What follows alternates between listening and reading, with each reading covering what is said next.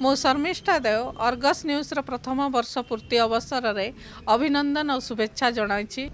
ଆଶା କରୁଛି କି ପୂର୍ବରୁ ଯେଉଁଭଳି ଭାବରେ ଅର୍ଗସ୍ ନ୍ୟୁଜ୍ ସତ୍ୟର ସନ୍ଧାନ ଲକ୍ଷ୍ୟ ନେଇକି ଆଗକୁ ବଢ଼ିଥିଲା ଆଉ ସଫଳ ହୋଇଥିଲା ସେହିପରି ପରବର୍ତ୍ତୀ ସମୟରେ ମଧ୍ୟ ସଫଳ ହାସଲ କରୁ।